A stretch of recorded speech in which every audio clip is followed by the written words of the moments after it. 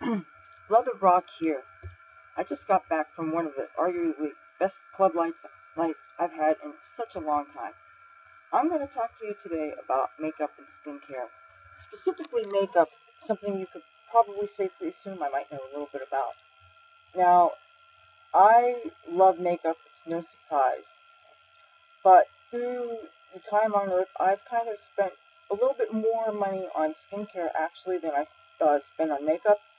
And to me, the most important things, what I call the holy trinity for skincare, are you must have some kind of a retinol.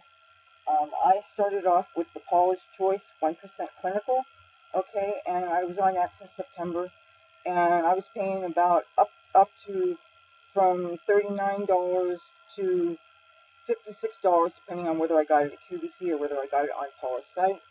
And as luck would have it, this is like magical thing. I was looking in some fashion magazine and I saw an ad for Peter Thomas Roth, one and a half percent retinol fusion, and um, I was flipping through uh, channels on TV and QVC uh, today's special, 6.7 ounces of this for like $117. You're talking a year's supply of skincare for not like about two months, two bottles of Paul's Choice, and it's stronger stuff. You know, I mean, I, I don't know about you, but I want results yesterday.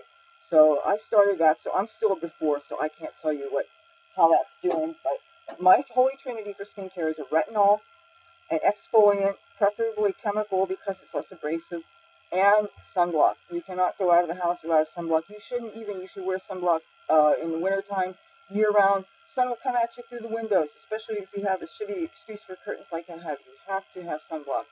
And if you're on retinol of any kind, you have to use sunblock. It's not negotiable because your skin is much more sensitive. Just like if you are, if you have lemon juice on your skin, like you're lightening your hair with lemon juice, you're going to be more sensitive to the sun. Stay the hell out of the sun. Sun's no good for you anyway. Now, I spend money on skincare, but when I have makeup, I love makeup.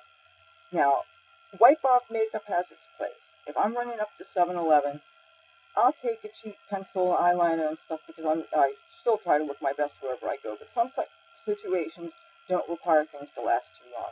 If I'm just going to take selfies in the house or something, or if I'm making myself up uh, for something where I'm trying to stay indoors and it's not humid or whatever for like a few minutes, uh, something that wipes off, that's easy to take off, has its place. But when I go out, I need performance makeup.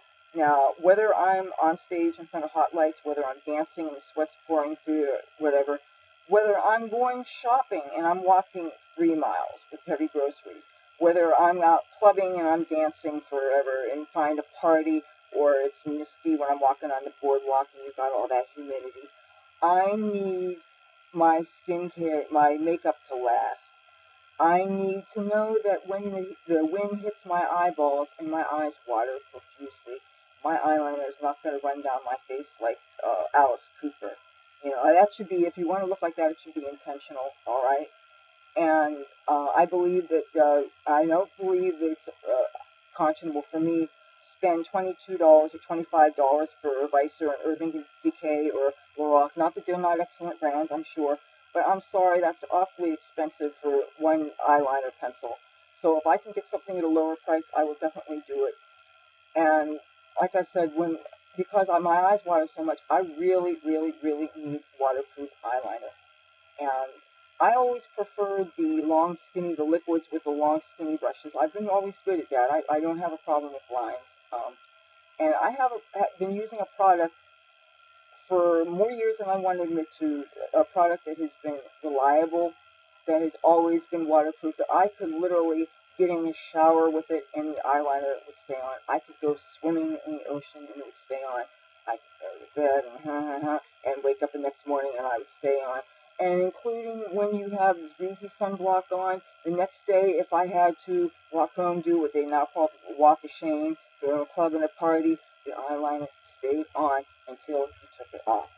And you you just need like uh, baby oil or something. And the only time that this particular company that I'll tell you in a minute who it is change your formulation. One time I noticed when I was an extra on a movie set for what I don't even remember, and I noticed that now when I was using it, it would sometimes lift off a little bit, but still be these long rubbery strips. It didn't come off. So, you know, you could be photographed and it would stay put. And that's the thing is when you have an eyeliner and it says it's waterproof and you've come to expect a certain consistent quality, eyeliner, it's waterproof. For me, there's really no other kind that's any use for me. It needs to stay put. Now, I want to show you something today. As wonderful a night as tonight was, kind of broke my heart a little bit. This that I'm about to show you, this is Maybelline Ultraliner Waterproof. This eyeliner, can you see that with the glare? I have used this for, like I said, more years than I want to admit to. This is my tried and true. This is my holy grail. I've gotten it for as cheap as $2.99 and as much as $7.99. Frankly, whatever it was, I always got it. I relied on this. This was my go-to. I would recommend it on message boards. I swear by this. Now, um, I have another older tube of it that is so dummy, I had to take the inside off. And I've been using it, but the thing is when you take the inside off, you got stuff that gets on here. And then when you apply it, it, it smears and it was becoming almost unusable. But I'll, I'll still show it to you. Hold on a second. Mm. I may have thrown it out. never mind, you got the description.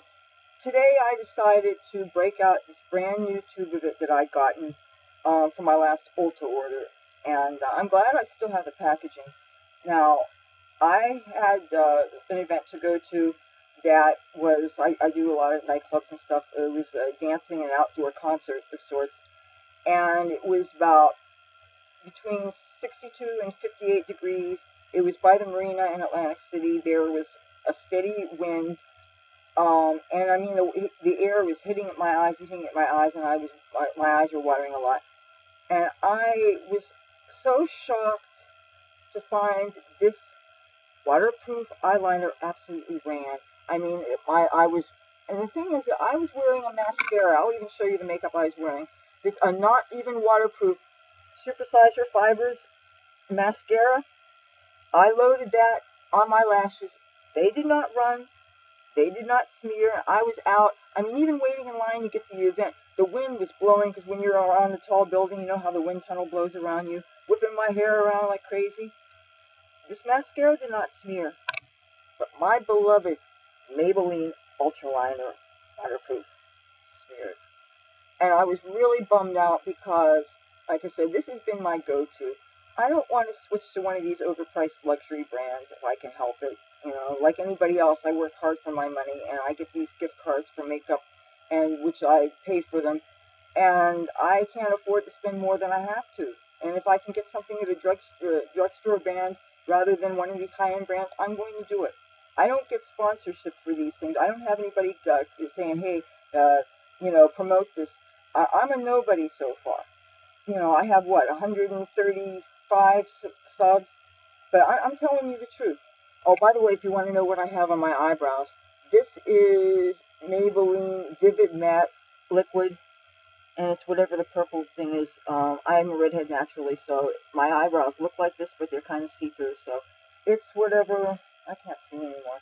It's whatever the purple one is. Um, berry, vivid. Oh, I don't. I. I'm sorry. They they make these things. Can you pick this out? Okay, if it's number 45, you know, but anyway, it's the one that looks like my hair. I use anything that matches my hair, and this does stay put. I, I recommend it. Um, by the way, my lipstick I'm wearing is from e.l.f. It's an absolute red, and I love it, and it was only a dollar, and it's called Fearless. Um, I had, like, more lipsticks than I have miniskirts, which is 50-something. And I don't get rid of anything. I'm a bit of a pack rat, and I didn't realize that eventually they go rancid. And, like, over half of them just started tasting absolutely terrible. And someone even made my lips tingle little. I said, oh, I'm going to get rid of this. I just threw out a bunch of them. And unfortunately, because maybe e.l.f. doesn't have as many preservatives or stuff, a lot of theirs died, but this didn't go bad, and so I didn't have to get rid of it. And I'm glad because I really recommend e.l.f., by the way, for their reasonable prices. All these makeup brushes that I used today, by the way, were e.l.f., and they each cost a dollar, okay? And if you take care of them and you wash them every day, they will last. Um, and this palette, I used the blue on my lids, and I used the red on my lids. And for the uh, crease, I used this black from a company. I thought it was called Boots, but it says, I think, Collection 2000, and it's from the UK. One of my friends in uh, Wales sent it to me, like, oh God, um, I'm guessing 2004. Like I said, I don't tend to throw things away. Powder shadows, as far as I know, shouldn't have an expiration date. If if you ever think they're contaminated, what you do is you put isopropyl alcohol enough to kill germs, put it in the pan, let it soak, let it soak till it evaporates, and that should kill the germs. Okay, because you don't want to throw out makeup unless you absolutely have to. And uh, if you're wondering what I use for my face right now, I'm like the whitest of the white, and for people like me, it is so hard to find foundation makeup that matches our skin. And I prefer more of an opaque thing, even though I have pretty good skin still. Um, but this is by Ben Nye, and it's called Cream Highlight and Ultralight. And I got it at, I think, one of those Halloween shops in New York City for $5.99 because it was a Halloween sale and it was near my birthday and I was in town. And so I was able to get all this like half price makeup, and that's kind of heaven if you, or maybe you like makeup. Anyway, but you know, when I went out tonight, I knew that I was going to shoot a video, but I didn't know what the subject was going to be. But when I kept on having to reapply my smeared makeup, I mean, this was getting embarrassing because so many people grabbed me for pictures, and there's so many good-looking people where I was. There was a bunch of bikers and stuff, and the women were fabulous, and the guys, they just they didn't give a fuck. They looked great with their colors and their hair, and people were so friendly, and all different kinds of people, and uh, I even got stoned before uh, I came home. A hotel party, just a whole bunch of great things happened. I can't say enough good things about it, but to have your fucking makeup be smearing, and my beloved Maybelline Ultraliner waterproof. You guys changed your formula. Why did you do that? I gotta have to find a replacement. You know, and don't I know I tried gel pots, different things. Like I said, nothing, everything eventually smudged and things were not waterproof. This always was. Anyway, aside from that, it was a great night. But makeup companies, get it together. Please don't change your formula. When we have something that's waterproof and we rely on it for performance, you know, if I'm going to be out for some X number of hours and I can't be checking my makeup uh, wherever every half hour. I need to look good because you never know who's going to grab you for a picture. Please don't change your formula for your things, especially waterproof things. Okay, that's what I have to say. Oh, I want to show you my outfit before I go. See this? And my United We Stand shirt. Okay, my name is Leathur Rokk. You know that. Well, now you have know what I have to say about the importance of having truly waterproof eyeliner. Talk to you soon.